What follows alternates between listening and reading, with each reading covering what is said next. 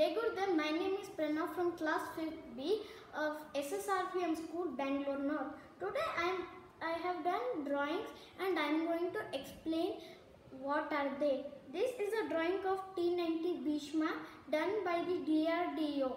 It is a tank of the Indian Army like the Arjun MBT. This tank can fire around some 500 to 800 shells. So this tank can also has an anti-aircraft gun which which hits many helicopters. This tank runs on caterpillar wheels and it has been developed by DRDO.